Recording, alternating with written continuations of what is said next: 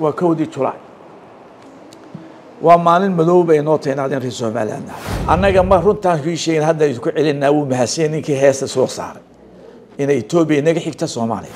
Laanna colaadda etoobiya annagaa bilowno soomaali geline ma hawiyaa yaqaani? Hagu yaqaani etoobiya la dagaalama geli jiray la dagaalamaya mar shacabka reer soomaali iyo somaliland iyo soomaaliya xasan iyo geelo nabad bay u baahan yihiin waxaan leeyahay kan bilaama ahee xasan sheekhna. War xasan sheekho somaliland ma burburin kartid ilaahay barsigane reerka hawiye la yidhaah iyo reerka reer somaliland. Ka daa colaadooda ha abuurin. Dalkan xukunka xoog kuma haysan kartid. Waan kaa xushoon dadku sidaas u taagay. Hawiye waxaad maanta isku ogtiin berita ma oga. Maanta waxa weeye waa kowdii julaay waa maalin madooba ay noo taynaadeen reer somaliland nahay. Afar iyo kontonkii anigoo malcaamad ku jira macana qur'aan ayaa halkaa imanka ka dhisan tahay dowladda hoose. La soo baxay. Dadku weer buu xidhnaa weer cad. Waa maalintii la bixiyey reserve area maalintaa la bixiyey hawd hawd an reserve area la yidhaaho ee maanta in waxba ku haysan maalin saasaa loo weerka loo xidho. Waxaan shacabka reer somaliya leenahay maalintaa waxaa ka xun maanta maalinta julaay la yidhaho kowda julaay waa maalintii inagoo dherigsan somaliland ay tahay meesha ugu ilbaxsan soomaaliya meeshay degan tahay. Ugu cilmiga badan ugu taajirsan aynu dowladnimadeeni jiba caruurnimo ah sameynay marka waxaan idin sheegaynaa kow horta waxa weeye maalinta waxaan idiin sheegayaa reer soomaaliya o qabaa'ilka soomaaliya degano dowladnimo jirtee annaga ma runtaan kii sheegin hadda isku celinaa wuu mahadsan ninkii heesta soo saaray. Inay etoobiya inaga xigta soomaaliya. Waa mahadsan annagu bulakaas soomaaliya soddon sanaan ku jirnay. Waxaan dhibaato ahayn iyo xasuuq ahayn oo aanu ka helay may jirta. Yaa diyaarada nala dhacay. Yaa dadkayga isku xidhxidhay yaa dadkayga sidii xoolihii intu xidho hargeyse baro dad ku xidho. Oran lacag saa ururayaan soo daynaya karisiida ii keena. Caydhii lanagu soo daayay waa dowlad etoobiya horta waa kow. Waxay nooga xigtaa deegaan baan wada leenahay. Boqol lixdan dhulka iyagu aan dadkii waxay degan yihiin etoobiya keliya kaada isna la afduubday ee reer iska sheegtay. Ayaan ku jirnay.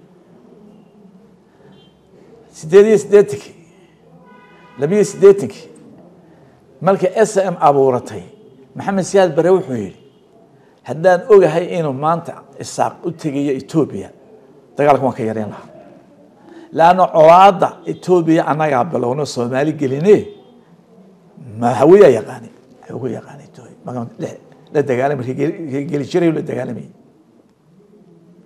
annagaa bilownay colaadda soomaaliya iyo etoobiya annagaa dhammayn maalinta s n mta gabaashka ay siiyeen saldhiga siiyeen etoobiya waxayna siisay maatideedii bay qabatay maatideedii milyan qof baa u qaxay dayaaradihii ka daba tegey dayaaradihii ka horgeeyey wayna soo hubeeyeen hubkaanu ku dilnay faqash iyo taakuleynta xaggaanu ka keenay saldhiga kastoo etoobiya ka keenay haddaanu iska xiginay anagu etoobiya ayay danteedu ku jirtaa dad aan naga dhexeeya dadna naga dhexeeya dhulna naga dhexeeya wey markay soomaaliya noqoto qabaaga soomaaliya majeerteen ayaanu jaarnahay majeerteenia ayaanu jaarnahay imaka la baxay puntland. Iyagaanu hadda la heshiinayna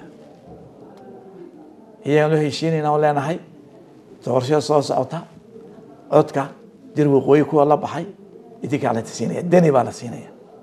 Qof kasta oo ka soo halkaa doonaya la tartamo waxaan aan dowlamo garanayn aan dhaqan lahayn aan weligood ahaad aan taariikh intaas soomaali taarikh laga sheegayo. Maanu cabdilla xasan yidhi bal haween ina halyey leydin la hubsan doona halyey baa ka soo wuxuu ahaa caydiid aidiina waxaa dilay. Habargidi baa dishay reerkiisaa dilay. Wuxuu ka jeedaa xasana. Dee wuxuu ka jeedaa cali mahdi. Cali mahdi ninkii lagu buraangareeyey ee jabadii s afweyne ka riday. Dagaalka ku qaaday. Dagaalkii ooda isna kaasaa dee kana wuxuu ka soo olafiqina de dilay. Marka horta kuwaasi waa kuwa aan la brograam garaynayo imika waa garaysay. Waxaa samaysmay gaashaanbuurtii nebi maxamed alayh wasalam la dagaalamisoo kale. Asxaab suuratu asxaab ay ku soo deshay maanta ninkaa guriga quraarada ku jira. Ina geeli een ogoleen inuu ciise wax noqdo. Gaajada ku dilay een ogoleen inay soomaali wax noqoto. Oon ogoleen inay soomaaliya wax noqoto keligii noolaado iyo faamiligiisu oo layrka iyo biyahaba etoobiya ka qaata. Jaad ka qaata. Ee anagu haddaan wadadaa xidhno ka xidhanso. Markan jabuuti tegey waxaa la isoo tusay guryahay leeyihiin ilyaaska imanka wasiir maalida ah iyo faamiligiisu malaa waxay leeyihiin labaatan guri wada fiila oo manson ah oo wada swimming pool leh ayay leeyihiin ninka maanta inaga inala hadlaya. Dowladdan yare mamaasan ka samaysan jilibka ee uu qaatay geele buuggii maxamed siyaad bare uu qaatay. Waxaan ku leeyahay war shacabka reer soomaali iyo somaliland iyo soomaaliya xasan iyo geelo nabad bay u wax isku dira uma baahna. Maanta africa iyagaa u liidata soomaali. Africa conganka liidana. Warre waaweyn baa tini. Somaliland ilaahay baa abuuray. Waa tii idku horeysay. Way jiraysaa waana jiri doontahay. Soomaali dhibaatay ka daaya soomaali wax quudiya u baahan tahay. Way gaajoonaysaa wax u gaajo badan jabuuti dadka degan intiina nool maaha waar ka wanaag ka shaqeeyo soomaali la isku quuqiyo. Iyo cali cali xamar cali waxaan keenaya cali baxar iyo jabhad baan keenaya. Awdal iyo jabuuti isku eg inta jaamacadood awdal leedahay. Dadka awdal e siman aan reer dusha ka fushaneen inta wada leeda e waa loo soo tacliintaga waa loo soo dalxiistaga cali baar awdal reer guuraa maaha si reer lascanoode waa beereley waa ilbax dantooda ilaashanaya waad ceeboobaysaa ya godob baad u soo hoynaysaa ciise jabuuti mabaasidiina xukuumadda maafiyada ayna geeli waxaa leeyahay ka daaya waxaan leeyahay kan bilaamac ahee xasan sheekhna.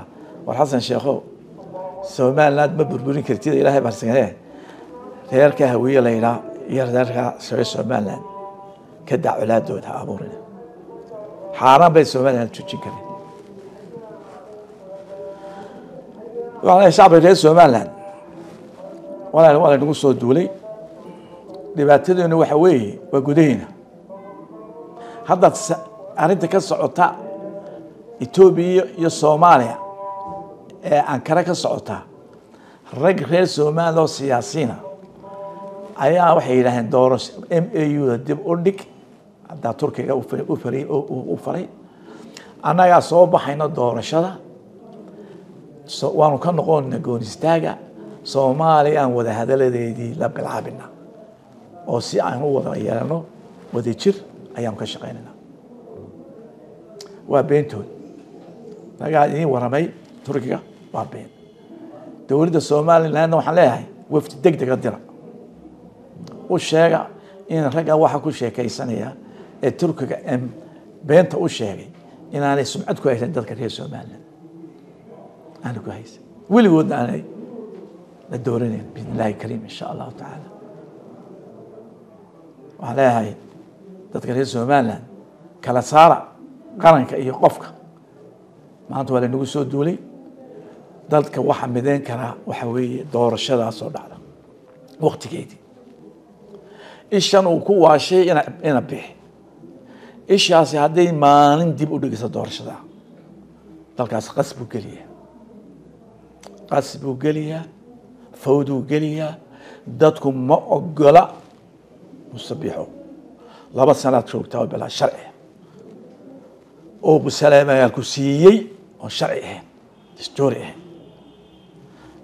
door dadka haddaad doonaysa in dalkaa naf lagu soo gaaro doorashada waktiga samee male doorashada waktiga samee ilaa dadka ka baq dalkan xukunka xoog kuma haysan kartid. Waana kaa xushoon dadku sidaas u taagay. Wuu macaluuliya dadka dadkaaga si ogli ma ogide dadka af wanaagsana ku hadal. Commissionkana waxaan leenahay. Waanu u simanay saddex stakeholders waxaanay raali ku ahayn. Mar baa dalkaa khatar geliseen oo ururo aan toosoo adduunka jirin u soo dayseen maanta haddaad taas muuse isa siisaan. Dalka khatar baa gelisa dhalinyaraa tihiin mustaqbal baad u baahan caruurtiina mustaqbal u baahan. Kala saara mustaqbalka caruurtiina iyo danta. Iyo danta muuse kala saara. Oo ummadda ka xishooda waxaanan isla ogoleen ma samayn karisa. Waxaan leeyahay dadkan waa layna soo galay reer waa la soo galay wax dal laguma wado. Dowlad ba ahaan jirteen kulmiyow tiyo bal waxa qabateen afar iyo tobankii sano soo sheega. Bal waxaad leedahay maanta waan qabana dadka u sheega. Laakiin afar oday baa waa la isoo galay. Reer baa isoo galay. Dad laguma wadiyo. Maanta waa layna ibtixaamay. Qof kastaba maanta soomaali u ogyahay saddexdeeda musharaxa qof kastaba halkuu iska taagay qadiyada somaliland iyo cadowga ku soo duulay iyo walaweynta dadku maaha kii shalay maaha kii shalay maaha boqol kiiba shan iyo toddobaatan waa dhalinyaro mustaqbal bay doonayaan. Hooyada fadhida qudrada iibinaysa.